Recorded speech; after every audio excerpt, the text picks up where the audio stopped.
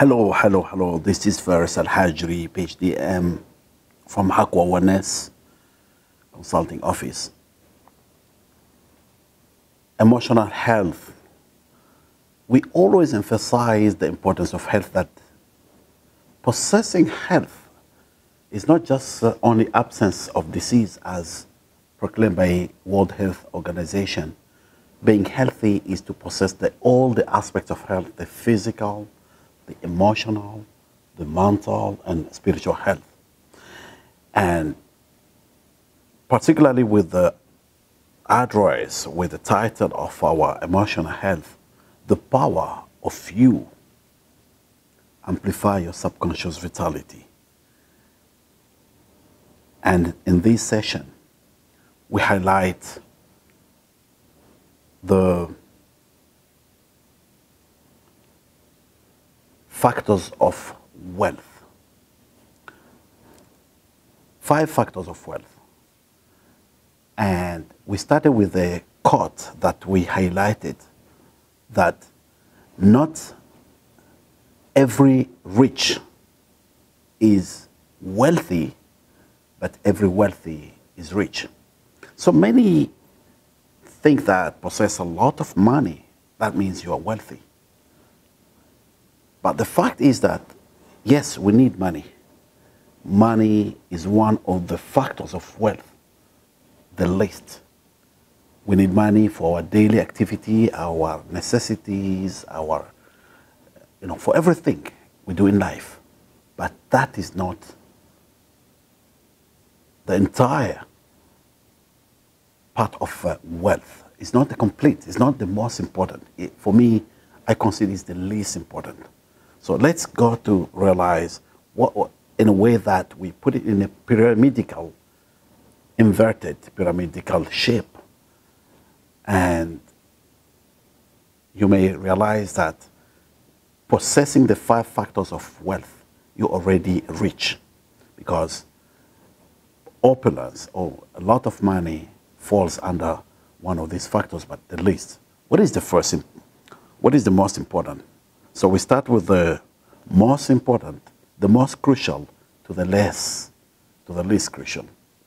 As you can see here, the inverted pyramid. Number one, number one, the priority is the power of faith, devotion. Two, PEM's health. So we'll explain what is that PEM's health. Number three, happiness. Number four, skill and knowledge.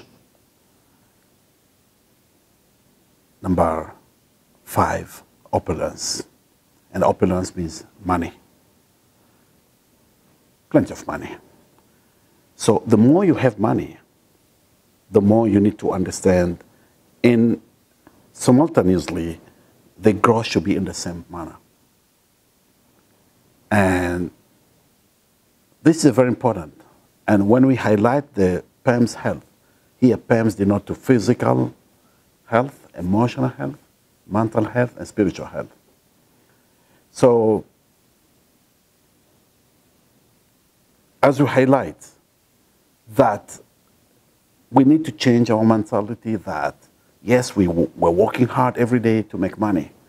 We, our, every time we sleep, we wake up in the morning and start to think, how much money do I have? How much money do, am I going to have? How am I going to be rich? But I have realized that there are people who have been running to become rich, to make a lot of fortune, but that money did not bring exactly everything to what I've realized the five factors of wealth. I mean, all the other fact, four factors of wealth. So, for this reason, I came to realize that money is important, but the least. So, as you grow, as your fortune grow, irrespective how much you possess, the more it grow, you need to remember that it needs to go to grow simultaneously with the same parallel of the pyramidical, inverted pyramidical, uh, for with the previous uh, aspects of uh, wealth.